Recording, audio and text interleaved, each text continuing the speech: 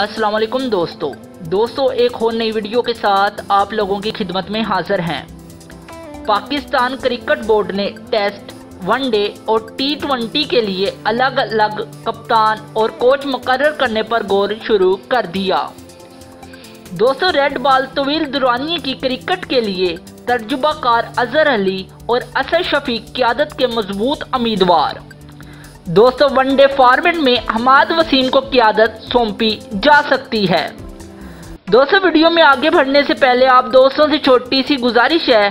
اگر آپ دوستوں نے ابھی تک ہمارے یوٹیوب چینل کو سبسکرائب نہیں کیا، تو بالکل فری میں ہمارے یوٹیوب چینل کو سبسکرائب کر دیں اور ساتھ میں گھنٹی کے بٹن کو پریس کرنا نہ بھولیں۔ دوستو ویڈیو اچھی لگنے کی صورت میں ویڈیو کو لائک کریں اور چینل کو سبسکرائب کریں۔ دوستو سرفراز احمد، جن کی زیر قیادت پاکستان نے سینتیس میں سے تیس ٹی ٹونٹی میچز میں فتح حاصل کی اور I C C T twenty ranking میں ایک سال سے ٹاپ پوزیشن پر فائز ہیں۔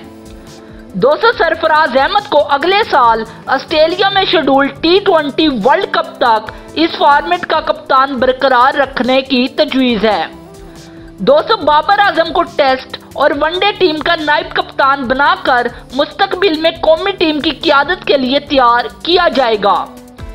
دوستو ریڈ بال سے ٹیسٹ میچز اور وائٹ بال سے محدود اوور کرکٹ کے لیے الگ الگ ہیڈ کوچ اور کوچنگ سٹاف کی تقرری بھی زیر غور ہے۔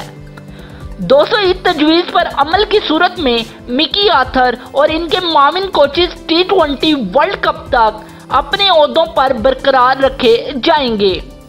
دوستو تاہم ون ڈے اور ٹی ٹونٹی کرکٹ میں میگا یونٹ تک تسلسل برقرار رکھا جا سکے۔ دوستو جبکہ ٹیسٹ ٹیم کی کوچنگ کے لیے سابق زمبابوے بیٹسمین اور انگلینڈ کے سابق کوچ اینڈر فلاور مضبوط امیدوار ہیں۔ دوستو، اگر آپ اسی طرح کی مزیدار ویڈیو دیکھنا چاہتے ہیں سب سے پہلے، تو بالکل فری میں ہمارے یوٹیوب چینل کو سبسکرائب کریں۔ دوستو، ویڈیو اچھی لگنے کی صورت میں ویڈیو کو لائک شیئر اور کومنٹ کرنا نہ بھولیں۔